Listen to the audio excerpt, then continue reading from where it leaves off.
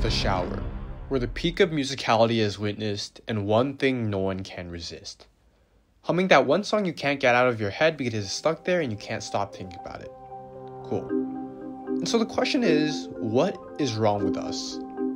No, scrap that. Why do songs get stuck in our heads?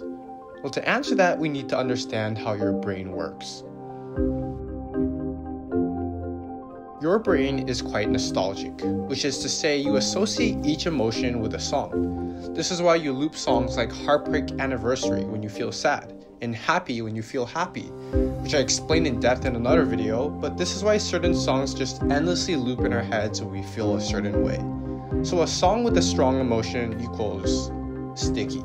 But this is also why the McDonald's jingle is never stuck in our heads, because we don't really feel any emotion from it.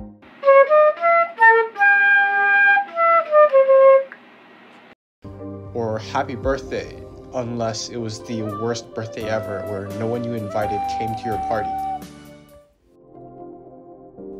Your brain links emotions to music.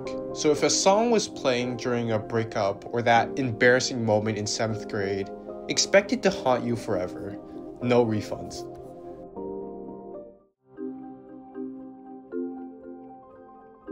Your brain is basically a DJ with a broken shuffle button. When you hear a song, it gets processed by the auditory cortex, the part of your brain that processes and remembers sound. But if a song is enjoyable and catchy enough, something strange happens. It loops yourself. Because your brain has the self control level of a toddler and can't resist revisiting something that makes you happy.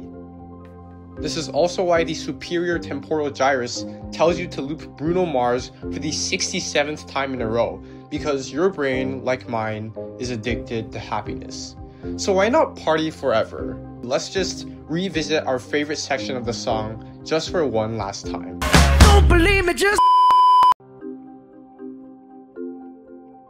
In smart person terms, the Zeigarnik effect occurs when an activity has been interrupted leading people to cling onto memories of the activity until it has been completed or resolved. Your brain hates unfinished business. This is why catchy songs you don't know the name of stick in your head, because you're clinging onto it for a name. This is also why a child asks the same question on and on until you give it a satisfying answer. So, how do you get a song out of your head? Me, just watch.